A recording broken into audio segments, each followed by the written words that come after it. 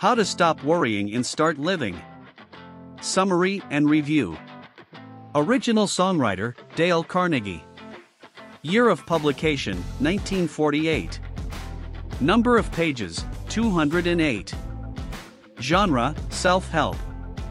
How to Avoid Worries and Start Living by Dale Carnegie is a self help book first published in 1948. The book is divided into 20 chapters, each of which addresses a different aspect of concern. Review Dale Carnegie is one of the world's most influential self help authors. His books, such as How to Make Friends and Influence People, are classics of the genre and have sold millions of copies worldwide. In How to Avoid Worries and Start Living, Carnegie addresses the issue of concern comprehensively and insightfully. It provides readers with a variety of tools and techniques to address concerns and live a fuller and more fulfilling life. The book is well written and informative. Carnegie presents his ideas clearly and concisely, and provides examples of how they can be applied in real life. Some of the key points Carnegie makes in the book include Worry is a choice. No one has to worry. Dale Carnegie opens in a new window www.britannica.com. Dale Carnegie. Worries are usually based on fears and expectations. Worries can be debilitating and lead to physical and mental health problems. There are ways to deal with worries and live a fuller life. Carnegie provides readers with a variety of tools and techniques to address concerns, including the What's the Worst That Can Happen? The Technique of Self Discipline. The technique of action. The technique of attitude. The technique of appreciation.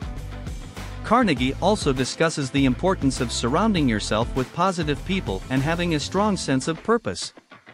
Concluding How to Avoid Worries and Start Living is an important and useful book. It can help readers deal with concerns and live a fuller and more fulfilling life. Here are some tips to make the most of reading How to Avoid Worries and Start Living. Read the book with an open mind. Don't discard the ideas presented in the book just because they are different from your own way of thinking. Reflect on the ideas presented in the book. Think about how you can apply these ideas in your own life. Try the techniques and tools presented in the book. Don't be afraid to experiment with different techniques to see what works best for you. If you are looking for a way to deal with worries and live a fuller life, How to Avoid Worries and Start Living is a book you should read. I hope you enjoyed this review of How to Avoid Worries and Start Living. If you liked it, please leave your like and comment what you thought.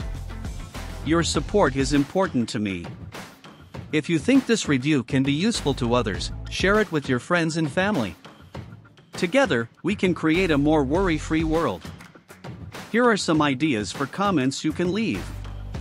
What are the most important ideas you learned from the book? How are you applying the book's ideas in your own life? What is your opinion about the techniques and tools presented in the book? Thank you for reading. Here are some of the most useful techniques and tools presented in the book.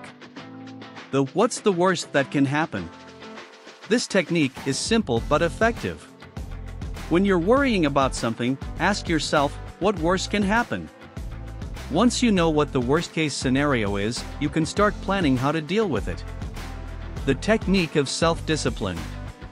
Worries are often caused by our own thoughts and fears. Self discipline is the ability to control our thoughts and emotions. When you're worrying about something, practice self discipline and try to focus on other things. The technique of action. Sometimes the best way to deal with concerns is to take action. If you're worried about something, do what you can to solve it. Summary How to Stop Worrying and Start Living is a self help book written by Dale Carnegie, first published in 1948.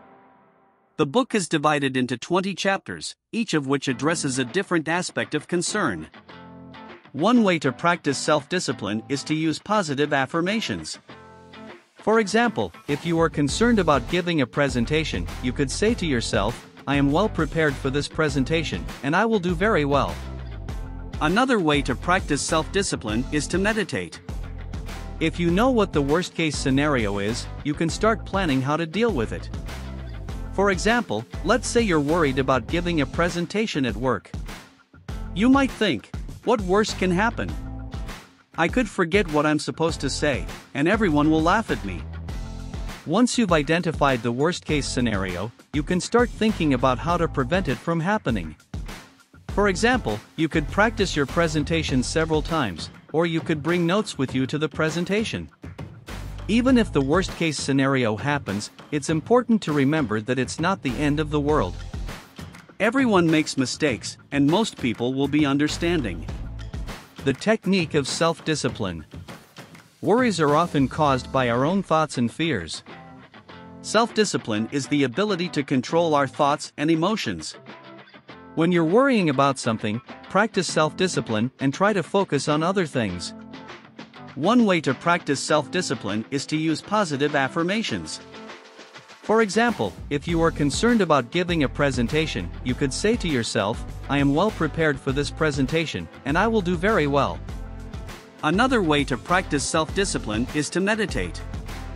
The to avoid worrying about the action of others, do not expect gratitude for your kindness, do not hold grudges, put a limit on your concerns, and understand that others may be criticizing just because they are envious of your success.